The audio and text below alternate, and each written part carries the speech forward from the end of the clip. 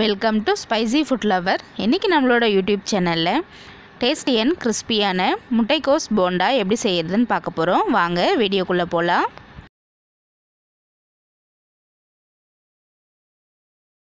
முட்டைக்கோஸ் போண்டா செய்ய போகிறோம் இதுக்கு நான் அரை கிலோ முட்டைக்கோஸ் எடுத்திருக்கேன்.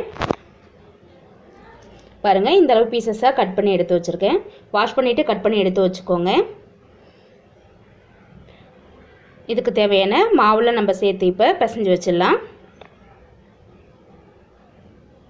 ஃபர்ஸ்ட் உப்பு சேர்த்துக்கலாம். முக்கால் ஸ்பூன் அளவு உப்பு. காஷ்மீரி ரெட் சில்லி பவுடர் ஒரு ஸ்பூன். அரிசி மாவு நூறு கிராம்.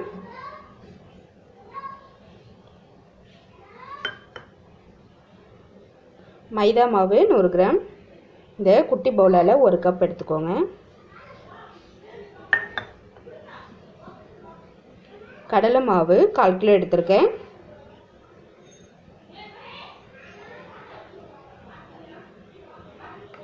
இதில் இப்போ நம்ம நல்லா மிக்ஸ் பண்ணி விட்டுக்கலாம்.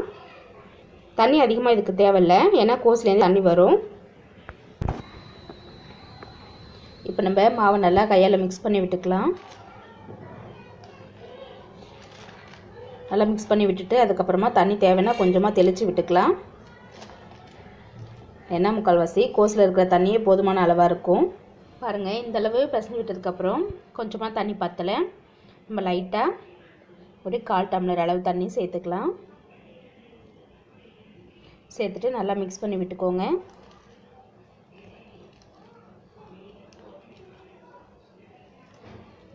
நல்லா உருண்டி போட வர அளவுக்கு பிசைஞ்சு வச்சுக்கோங்க. பாருங்கள் கோஸ் நல்லா பிசைஞ்சு மிக்ஸ் பண்ணி வச்சாச்சு.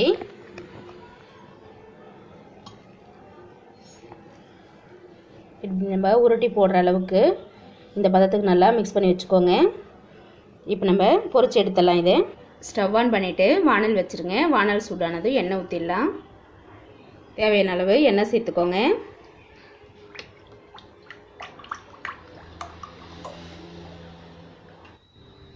எண்ணெய் நல்லா சூடாயிடுச்சு.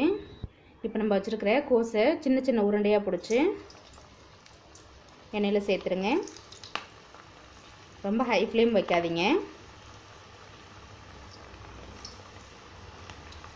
இது நல்ல ஒரு ஸ்நாக்ஸ் ரெசிபி கூட. நீங்கள் ஈவினிங் டைமில் ஈஸியாக பத்து நிமிஷத்தில் செஞ்சு வீட்டில் உள்ள சின்ன பசங்க பெரியவங்க எல்லாருமே சாப்பிடக்கூடியது.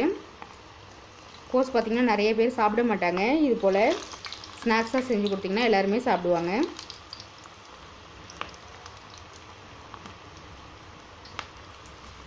சின்ன சின்ன உருண்டையாக சேர்த்துக்கோங்க. ரொம்ப பெருசாக இருந்ததுன்னா உள்ளெல்லாம் வேகாது.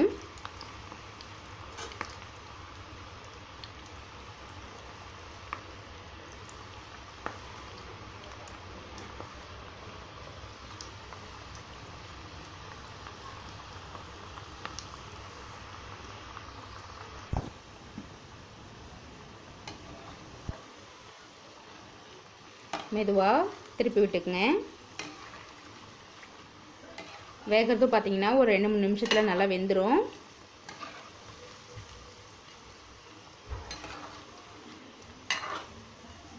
இன்னும் ரெண்டு நிமிஷம் வேகட்டும். நல்லா வெந்து ப்ரௌன் கலராக மாறுது பாருங்கள்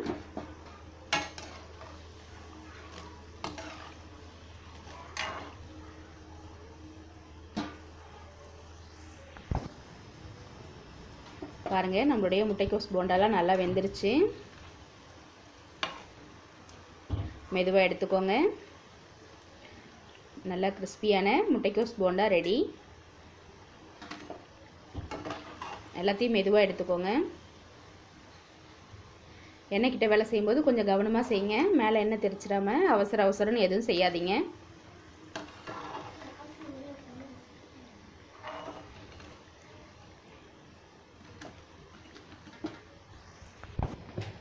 பாருங்கள் நம்மளுடைய போண்டெல்லாம் எடுத்து வச்சுருக்கேன். எதுக்காக நியூஸ் பேப்பரில் வச்சுருக்கேன்னா இதோட எண்ணெய்லாம் நல்லா இழுத்துரும். அதுக்கப்புறம் சாப்பிட்றதுக்கு எண்ணெய் இருக்காது. கொஞ்சம் நல்லா ட்ரையாக நல்லாயிருக்கும் அடுத்து நம்ம அடுத்தது பேட்ச் போட்டுடலாம். இதே மாதிரி நம்ம எல்லா நம்ம வச்சுருக்கிற எல்லா முட்டைக்கோசையும் கொஞ்சம் கொஞ்சமாக சின்ன சின்ன பாலாக உருட்டி போட்டு வேக வச்சு எடுத்துக்கோங்க.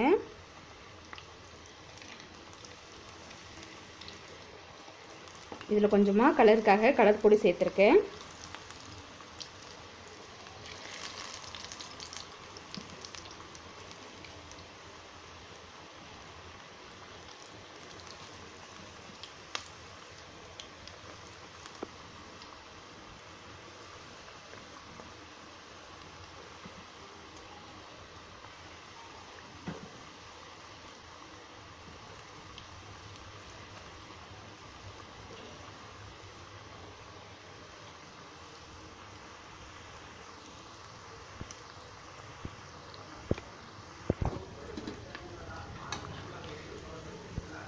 இதையும் மெதுவாக திருப்பி விட்டுக்கோங்க.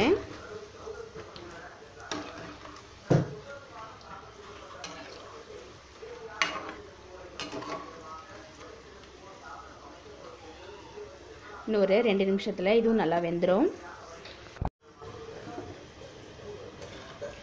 அடுத்த பேட்சும் நல்லா பொறிஞ்சிருச்சு பாருங்கள் எந்த அளவுக்கு மொறு மொறுன்னு இருக்குன்னு.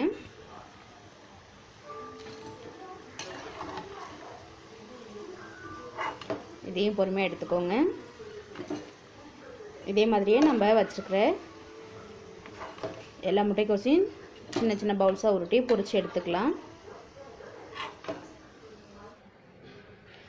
பாருங்கள் நம்மளுடைய டேஸ்டி அண்ட் கிறிஸ்பியான முட்டைக்கோஸ் போண்டா ரெடி ஆகிடுச்சு பார்க்கவே கலர்ஃபுல்லாக இருக்குது பாருங்கள் இதே மாதிரி நீங்களும் வீட்டில் முட்டைக்கோஸ் போண்டா ட்ரை பண்ணி பார்த்துட்டு எனக்கு கமெண்ட் பண்ணுங்கள் இந்த வீடியோ உங்களுக்கு பிடிச்சிருந்துச்சுன்னா மறக்காமல் நம்மளுடைய ஸ்பைசி ஃபுட் லவர் சேனலை சப்ஸ்கிரைப் பண்ணுங்கள் மீண்டும் வேறொரு ரெசிபியோடு உங்களை நான் சந்திக்கிறேன்.